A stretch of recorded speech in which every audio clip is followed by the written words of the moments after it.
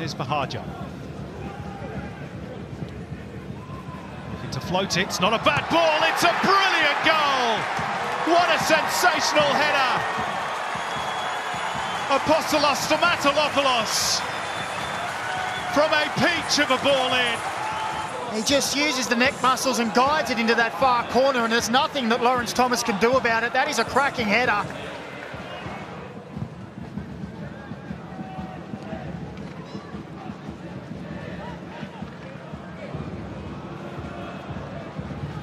Wanderers can make them pay. Here's Milanovic. Sean Antonsson. Couldn't get the contact he wanted. Still awaiting his first goal for the Wanderers, but that was a good counter.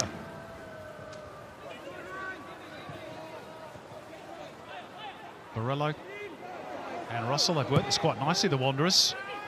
Clisby at the back post. And Bayliss did enough and got a whack to the head for his troubles as well. And now the break is on again for the Jets, and Buhagiar's pace will get in there ahead of Pantazopoulos. Here's Stamatelopoulos, surely 2 0. It is! A brace for Apostolos Stamatelopoulos. And the Wanderers caught on the counter again. Great run from Trent Buhagiar. And then this time he had the composure to find Stamatelopoulos. A little uneasy in his first touch, but regathered himself, composed himself, and find, finds the bottom corner. A composed finish. And again, it's the pace of Newcastle Jets on the counter attack that unlocks that West Sydney defence. Mauragis starting to make his move. Taylor. Mauragis. O'Neill. That's a lovely ball by Brandon O'Neill, and the Wanderers could be exposed again here. Ingham with the cutback, and it's headed away by Marcelo. The shot from Lucas Mauragis in the end. Josh Brillante on set-piece duty. Marcelo looking to make his run. And it's knotted just wide by Nicholas Milanovic. Just grazed the side netting. And I wouldn't be surprised if uh, we see Dylan Pierias at some point soon. Well, Marko Rudan has to do something, doesn't he, to really spark this team into action. Such a contrast from last week. Good touch by Antonsson. Milanovic. Borrello. And it's set up for him. Breaks here for Tate Russell. And still they can't work the goalkeeper, but a decent chance. Borrello looking to float it, but Mauragis there. And the loose ball will be uh, picked up here by Clayton Taylor.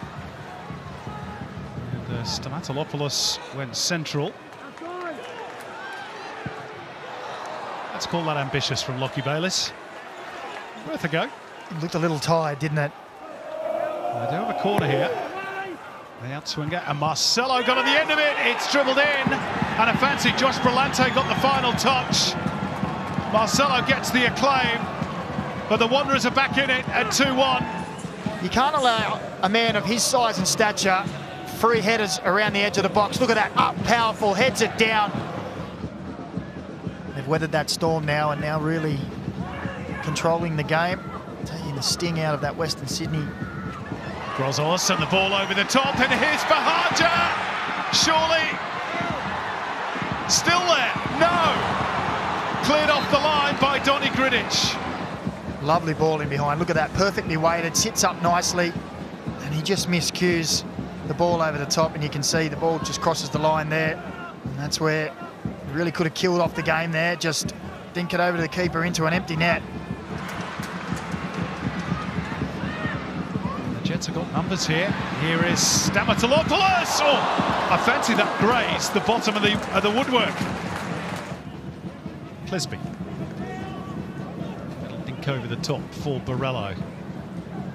Hendricks squared up nicely. Priestman, big chance! 2-2! Marcus Antonsson hits the back of the net for the first time in his Wanderers career.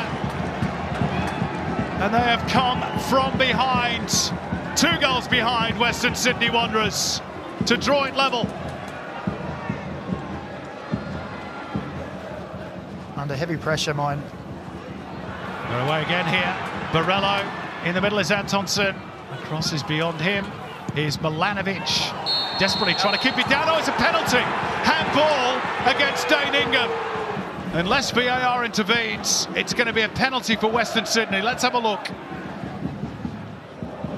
Yeah, no, I don't think that's a penalty.